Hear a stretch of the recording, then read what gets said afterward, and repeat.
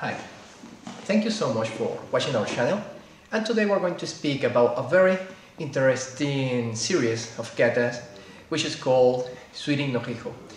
Uh, Suirin no Heiho was very popular during the decades of 60s and 70s uh, from the students of Ogawa sensei. Uh, it was really really well executed and they actually mastered the development of this uh, kata. The Suirin no Heiho means uh, comes from sui, mitsu comes from water, rin comes from ring. So and heiho means from the soldier method. So it's like the techniques of, or the methods uh, of the ring of water. This Suirin no Heiho is also composed by three main series, which is called Furiharai, Furigaeshi, and Furibayashi. Today we are going to speak about Furiharai. Furiharai can be translated as a, a shake-off this shake-off is actually a metaphor of uh, try to shake a bush in order to understand if some snakes are coming out from it. So it's a metaphor because it's trying to express the idea to shake off the will or the reaction of their opponent. It's a, it's a way to try to understand if something's hidden and to provoke a reaction from your opponent this, uh, this idea of uh, shaking off the bushes to see if some snake is coming out comes from two main movements which are really really emphasized in at least two forms of Furiharai.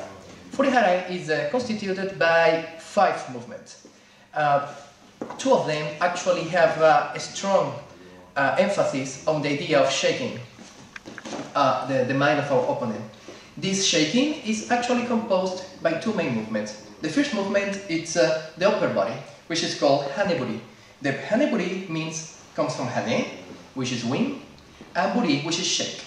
So haneburi is expressed in the upper part of our body in this opening. It's like an incitation to the opponent to provoke, to provoke him. So this is what our upper body is all about. Also, we have the uh, lower part of our body, which actually try to confuse, try to uh, make this uh, vibration, but instead of a bush, in the mind of our opponent. So the movement is called uh, Zuizen, which comes from Zui, with water, um, and Zen, uh, like to go through, like to walk over. So Zuizen, try to make really small steps, try to confuse our opponent. Also, Sensei Motoshima call it setsuzen. Uh, setsu comes from snow, so it's also like to walk through, to uh, walk over um, snow. So both terms, zuizen and zetsuzen, actually give you the idea that you have to walk in a very uh, slippery surface. So you are trying actually to make it really, really small and try to make it fast and stable um, this movement, even when it's not done under these surfaces, is actually trying to confuse the opponent because if you're not on water or uh, snow, you're actually uh, uh, playing with the time and the space between your opponent and you.